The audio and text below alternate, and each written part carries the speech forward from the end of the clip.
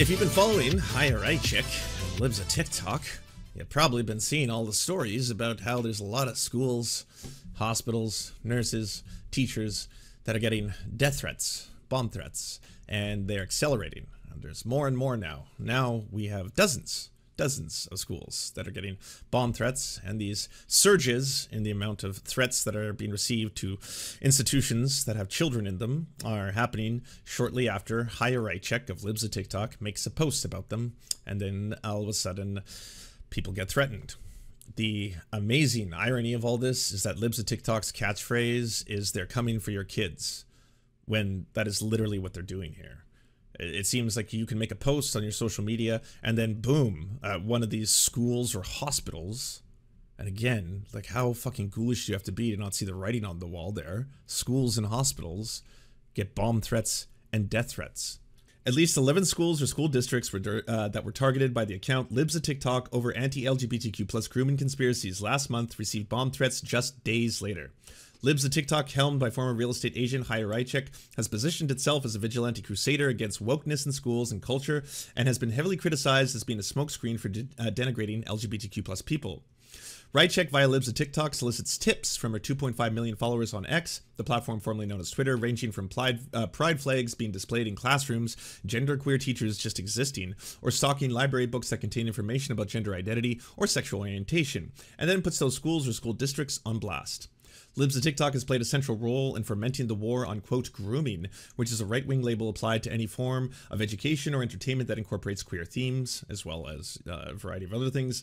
The account has risen in influence as many mainstream Republicans have actively campaigned against and enacted policies chipping away at LGBTQ plus rights over the past several years. Raichik dined with former President Donald Trump earlier this year, and members of Cronlist routinely engage with Libs of TikTok posts, including Ron DeSantis, campaign manager, as do far right groups, including neo Nazis. It's perhaps not exactly surprising that schools or individuals who are featured on Libs of TikTok end up facing a barrage of trolls and harassment. Last summer, hospitals, including uh, Boston Children's Hospital in particular, were besieged by bomb threats after Libs of TikTok and similar accounts obsessively highlighted the fact that they were offering gender affirming care to transgender youth. Last week, a 37 year old woman from Westfield, Massachusetts, pleaded guilty to charges linked to calling the hoax uh, bomb threat to the hospital. But bomb threats targeting schools or school districts following Libs of TikTok posts appear particularly ominous escalation. Raichik in a series of emails with Vice News would not say if she felt any responsibility for the threats, and instead insinuated the threats had nothing to do with her or her followers. She then posted the email chain to her followers on her personal account on X, which was then amplified by Libs of TikTok account.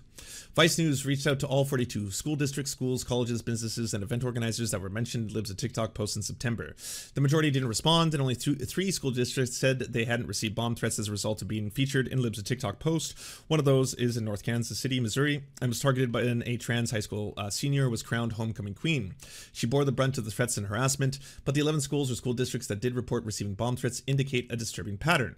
So here's a list of school districts and uh, the distance, usually within a day or 24 hours, of Chaya Raichik and libs of TikTok posting something and then them receiving bomb threats and death threats. The flurry of threats against school districts were spotlighted by Libs of TikTok coincides with the more general surge in threats, bomb hoaxes, and swatting calls against schools. Threats against schools in 2022 were up by 60% compared to the previous year. While schools were unable to say for certain whether they, uh, they the threats they received were linked to Libs of TikTok, citing ongoing police investigation, many noted the level of the threat received was highly unusual. Some of those who were targeted by Libs of TikTok in September who didn't receive bomb threats instead reported vicious harassment, doxing, and intimidation. Erica, a school bus driver in the Pittsburgh area, told Vice News that her life was turned upside down when a screenshot from her private Facebook account made its way to Libs of TikTok. The post showed a sheet of stickers she'd ordered, which included pride flags and innocuous slogans like All humans are beautiful, This is a safe space, Love always wins in a rainbow font. I got new stickers, Erica wrote in a Facebook post, adding a smiley face emoji. Gonna get some magnet sheets so I can turn them into magnets and put them on my bus.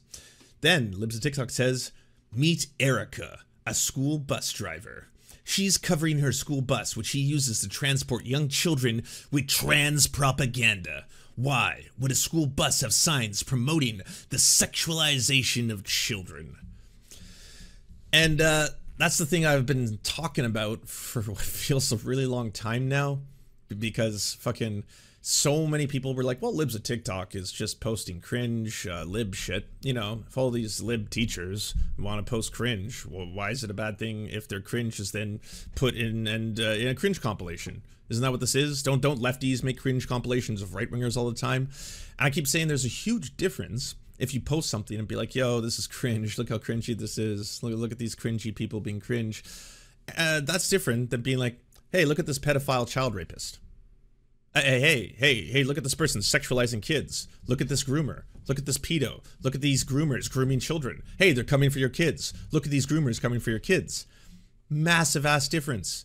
What a surprise that like all of a sudden people who are indoctrinated with this shit 24/7 they see this and then all of a sudden they're like, "What? Oh, I knew it. Yet another case of the woke mind virus trying to perverse the kids. Uh, we have to take action. We have to do something." Within 24 hours of the post going up, Erica was swarmed by online harassment. A friend informed her that uh, she was on an account called Libs at TikTok, which she'd never heard of. Yeah, because like for a lot of these people, uh, you make a, a, post, and by the way, a post on a private Facebook account. You make a post on your private Facebook account about fucking joy and love which is just the fucking most dark aspect of the story. Hey, you know, uh, let's spread love. All humans are beautiful. All this kind of stuff. And then all of a sudden, all of your socials are getting flooded with people being like, "You groomer, pedophile. You'll get the bullet." All that kind of thing. like, what the fuck? Where did all this come from? And then all of a sudden, it's like, oh, uh, yeah, you were just put on blast by uh, Libs of TikTok. When she found the posting, Erica said that she was shocked to see it had almost 800 comments underneath it, calling her a groomer, saying she should be fired, uh, and that she was a perfect example why children should be homeschooled. She received a handwritten birthday card to her home address, which asked her to refrain from recruiting minors on the job into her satanic beliefs. Erica, thank you for being a supportive person and wanting to, quote, protect children. Please consider parents' feelings uh, also through. In the U.S., part of free speech is a freedom of religion, and some don't agree with your God and teachings from the Talmud. Uh, you have the right to worship Baal, but kindly ask that you refrain from recruiting minors on the job. Send to her fucking house. Days after Libs' TikTok post went up, Erica's supervisor gave her a heads up that the superintendent had been fielding a ton of complaints and had been asked by board members to search her bus and take photos. There's sunflowers and butterflies on my bus. I have a few magnets that say be kind. I was never reprimanded. They said they are behind me. They did what they asked, but uh, I do not put any rainbow or allied supportive magnets on display on my bus. And that's effective terrorism, everybody. Because now the school thinks that a symbol, refracted light, is going to get you death threats. So please don't put rainbows up on your bus. You can put sunshine, but if that sunshine were to hit, say, a prism and then be divided into other bands of light, well, yes, that could get us called groomers, pedophiles, get us hate uh, emails and stuff. And honestly, like from a superintendent perspective, you know, I don't even think they're intentionally doing anything uh, in any way, uh, you know, uh, what is it, instigated by bigotry. It's it's 100% they they don't want the smoke. They they they, they don't want the death threats. They they don't want people calling in death threats. They don't want the kids getting scared. So all of a sudden, uh, you know, a symbol of love is turned into a frightening symbol that could attract people who are a danger to children, which was the goal all along. It, that that that was the goal, and the sad thing is, it's working. The fact that anyone would think I would do something like that would harm a child or someone that's marginalized makes me really sad. It could not be further from the truth. It was so upsetting, and I felt like my head was spinning. Everything was so out of control. Erica added that her husband suggested they refrain from hanging a pride flag on the house until this blows over.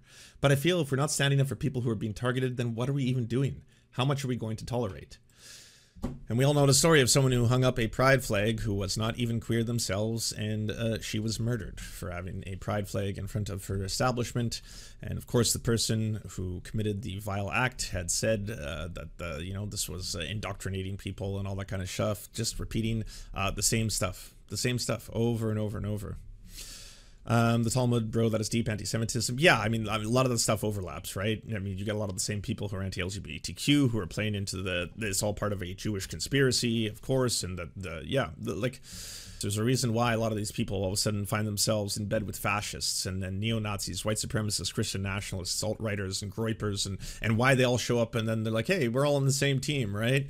Yeah. And it's like, well, what? No, no, no. I'm not, I'm not one of you. I, I, I just wanted to, to protect them kids. And it's like, oh, no, no, we're, we're on the same team. Oh, yeah, we're the baddies. Well, welcome to the baddies. Well, welcome to Team Baddies. We're doing it, you know? Do you enjoy the Serfs but prefer not to have to use your eyeballs? Many are saying this. Well, we've got the solution for you. It's the Serf Times in podcast form. Available on most major podcasting networks now. If you enjoy it, please consider leaving a good review and feedback because it really helps the show out, apparently, and it's free, just like the podcast. Thank you so much for watching, everybody. This show is produced by amazing people like you, and if you want to help us out, please consider donating over at patreon.com slash theserfs.